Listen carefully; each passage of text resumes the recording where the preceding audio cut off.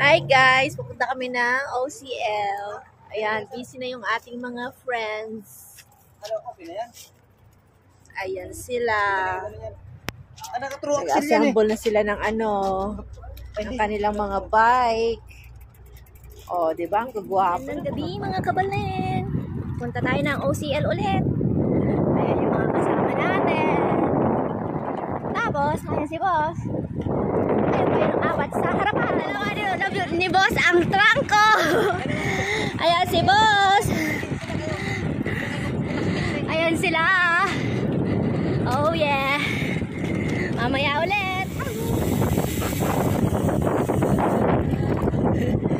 Ayan po mga kasama natin. Nagraratrata na sila mga kaibigan. Mamaya ulit. kami sa finish line guys. Kaya, ayan na sila. Mga pagod na. Ayan guys. Nasa 32.48 kilometers na tayo. Tatapos natin ang one way ng OCL. Ayan o.